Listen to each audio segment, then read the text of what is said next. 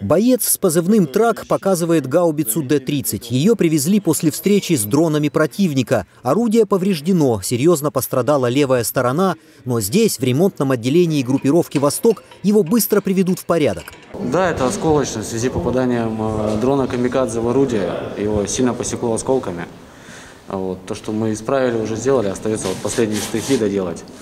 То есть сейчас мы здесь зачистим все, сделаем заплаточкой сюда, и все, орудие можно отпускать. Во время ремонта изготовили щит, заменили противооткатное устройство и уравновешивающий механизм. Не только восстановили, но и доработали. Сразу после этого гаубицу можно использовать в работе. Устанавливаем, ну, в дальнейшем, чтобы не происходили вот такие, как вот попадание дрона. Если он попадет, соответственно, он до самого орудия не достанет, он еще на подлете, так скажем, будет уничтожен. Полк полностью сформирован из приморских мобилизованных. Команда уже сработалась. Поставленные задачи выполняют в максимально сжатые сроки. Парни все знают свое дело, умеют, варят, изготавливают. В принципе, буквально сутки-двое и орудие обратно на позиции. А на передовых позициях ведется уже другая работа – развертывание орудия. Задача подразделения – максимально быстро установить и подготовить его к работе. Чуть-чуть вниз. Еще, еще, еще, еще, еще, еще, еще. Стоп! Командир орудия с позывным «Заноза» рассказывает, что раньше работал инженером-проектировщиком. С задачами в новой для себя области справляется успешно. Для противника – настоящая «Заноза».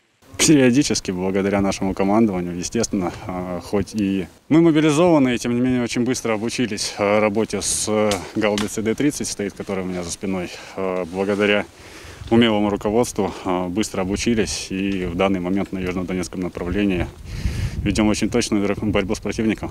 Успехов у подразделения достаточно. Так, недавно при помощи своей Д-30 уничтожили движущийся вражеский танк.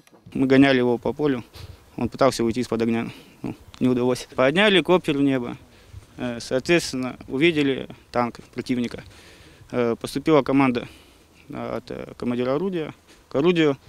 Быстренько, оперативно зарядились, навелись.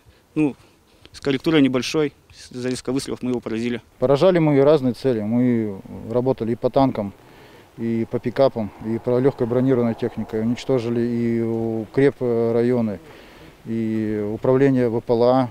Активность противника снизилась, но хлопот доставляют беспилотники, объясняют бойцы. Для борьбы с ними подразделениям поставляют специальное оружие. Ну а главная задача – отработать поставленную цель, сохранить людей, орудия и двигаться дальше. Выстрел!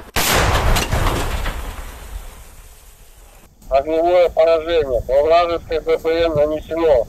Молодцы, товарищи! Служим России!